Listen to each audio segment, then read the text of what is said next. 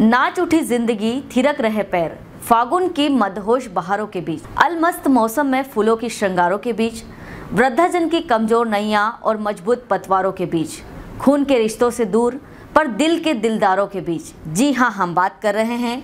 मध्य प्रदेश के जिला विदिशा मुख्यालय में स्थित श्री हरि वृद्ध आश्रम के बुज़ुर्ग माता पिता की, जो होली के उत्सव में खुशी से झूम उठे हैं। अपने घर परिवारों से भी ज़्यादा अपने इस प्यार भरे आशियाने में जमकर होली की मस्ती की धूम मचाई और वे अपने सच्चे बेटे बहु श्री वैद प्रकाश शर्मा और श्रीमती इंदिरा शर्मा आश्रम संचालक के साथ होली के रंगों के बीच खुशी से झूम उठे। आज उनकी खुशी का ठिकाना नहीं था। वे मज़बूत चार कंधे उनको सहारा दे रहे थे, जो जीवन के आखिरी सफ़र तक उनका सहारा बने रहेंगे।